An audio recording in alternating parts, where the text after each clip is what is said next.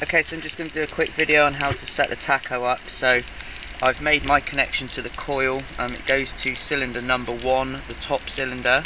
Um, this is the same for Yamaha and Tohatsu's. Um, then you need to make the white wire go back to a good earthing point. Um, I've just put this one under the engine lifter. Um, I know this is a good earth. Um, ideally you should run it back to one of the earths where the coils go back to. So once you've done that, you need to go to your tacho. Uh, make sure you've got plenty of water running through your engine and start it over.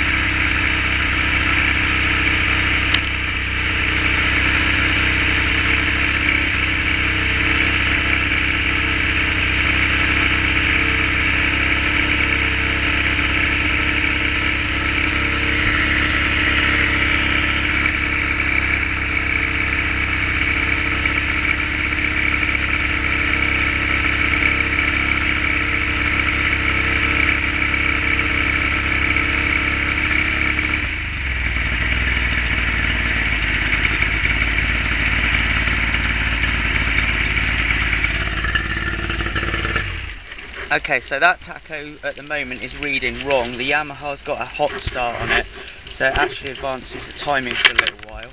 Um, when it settled off, it was reading about 500 revs, which is half of what I need. So to adjust that, you hold your finger on the reset button. I think it's about 10 seconds, and then it will say 2 pole 2p 1r. That's twice per one revolution once per two revolutions is one every third and then the setting that we want to put it onto is one pulse per revolution.